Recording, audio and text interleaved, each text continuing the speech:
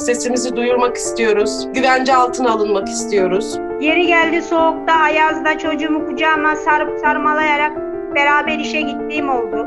Ve hiçbir şekilde ne aile desteğim var ne çevre desteğim var. Tek başıma mücadele etmek zorunda kalıyorum. Ve benim gelecek kaygım var.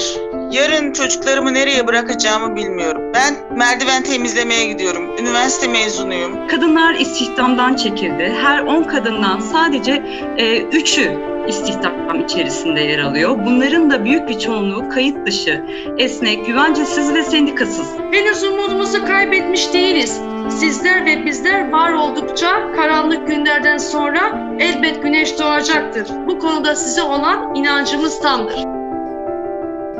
Yeniden Cumhuriyetimizi eski ayarlarına döndürerek çağdaş Türkiye'yi yeniden kadınlarla birlikte inşa edeceğiz. Kadınlara bir hak falan vermiyoruz.